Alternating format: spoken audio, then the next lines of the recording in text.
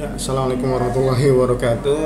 Eh, kali ini saya akan mencoba membuat SEP atau cetak SEP menggunakan Kansa. Jadi tidak menggunakan tidak dari Viclaim tapi dari Kansa. Nah, caranya bagaimana? Caranya pertama itu masukkan nomor KA pasien untuk memastikan si pasien ke kartunya aktif atau tidak. Masukin lalu tekan enter. Sini ada beberapa pilihan. Seandainya pasien data menggunakan rujukan, itu pilih rujukan kartu pikir dari Viclaim. Nah, seandainya tidak menggunakan rujukan, itu pilih cek nomor kartu Viclaim yang ini. Nah, kebetulan si pasien yang saya input ini tidak membawa rujukan. Ketika saya klik cek rujukan ini, pasti tidak bisa akan muncul notif rujukan tidak ada. Jadi kita harus pilih yang cek kartu dari Viclaim. Nah, seperti ini. Nah, ini keterangannya aktif. Kalau keterangannya aktif, berarti bisa dilayani di rumah sakit rekan-rekan.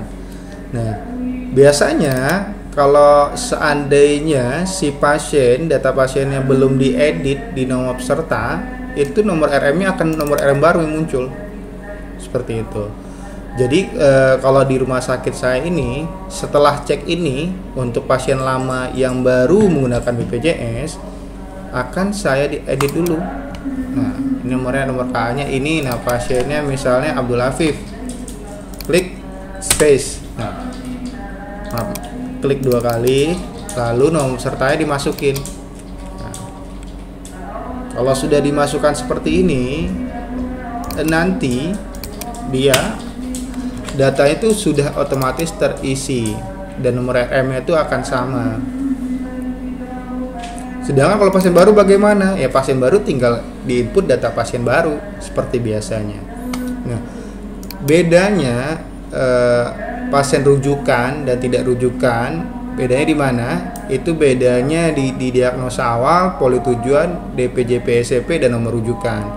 Ketika kita pilih cek kartu atau cek rujukan yang di tengah tadi dari Viclaim ini otomatis terisi diagnosanya awalnya apa, politujuannya apa, DPJP SCP-nya apa, nomor rujukannya berapa.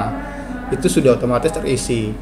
Nah, kalau seandainya tidak menggunakan rujukan, otomatis kita mengisi sendiri. Nah, misalnya ke mana diagnosa awalnya dia ini? Misalnya nah, 01 ya. Poli tujuannya ini otomatis ke UGD kalau kita klik THT misalnya ini itu tidak akan bisa. Misalnya ya. Nah untuk dokter dituju DPJP nya ini harus diisi juga ya. Harus disamakan dengan dokter SEP DPJP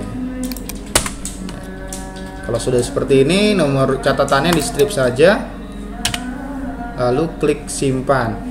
Nah, seharusnya dia tidak bisa tersimpan karena si pasien tidak membawa rujukan. Karena itu saya bilang tadi, kalau pasien tidak membawa rujukan, itu otomatis masuknya ke IGD atau UGD. Nah, nomor rujukan harus diisi dengan benar karena dia tidak mau nomor rujukan berarti kita masukin ke UGD saja. Oh.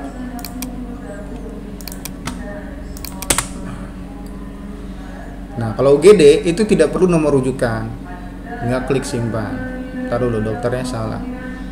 E, dokternya bukan Firman kalau UGD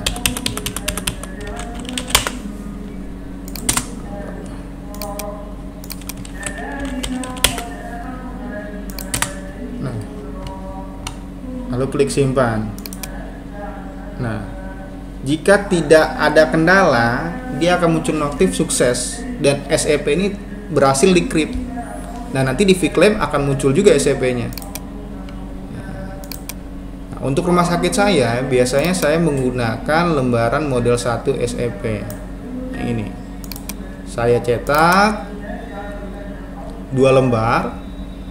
Biasanya satu untuk uh, kita, satu untuk pasien itu tergantung dari rumah sakitnya eh, masing-masing Nah, kalau tinggal ini tinggal dicetak dikasih ke pasien. Nah, ini untuk pasien rawat jalan UGD seperti itu. Bedanya hanya itu saja. Sedangkan kalau pasien uh, menggunakan rujukan, ya tadi pilihnya kita ulang lagi ya, keluar. Pilih yang tengah ini. Nanti akan otomatis uh, diagnosa awal, poli tujuan, uh, nomor rujukan itu otomatis terisi. Nah, kita ngapain? Kita hanya isi dokter ininya saja, DJP-nya siapa. Gitu, tinggal isi. PJP SMP juga diisi juga ini. PHT misalnya. Untuk poli dan diagnosanya itu otomatis terisi biasanya. Nah, pendaftarannya input ini saja nih. Dua ini saja. Untuk catatannya di skip saja. Kalau misalnya tidak ada catatan. Kalau ada catatan yang monggo diisi gitu. Hanya bedanya di situ saja. Mungkin untuk cetak SMP sekian dulu. Nanti jika ada di jalan ada kendala bisa ditanyakan ke saya atau Pak Apip nah sekian. Terima kasih. Assalamualaikum warahmatullahi wabarakatuh